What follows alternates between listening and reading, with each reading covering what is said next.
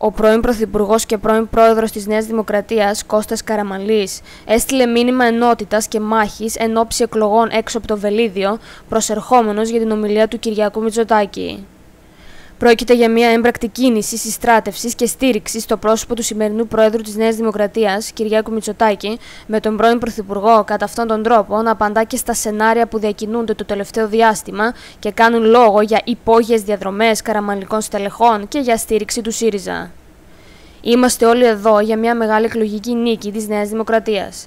Είμαστε όλοι εδώ για να στηρίξουμε την παράταξή μας στον αγώνα, για μια μεγάλη εκλογική νίκη με στόχο την αποτελεσματική διακυβέρνηση και την ρωμαλαία ανάπτυξη προς όφελος όλων των Ελλήνων και πρωτίστως των οικονομικά στενέστερων, είπε ο κ. Καραμαλής.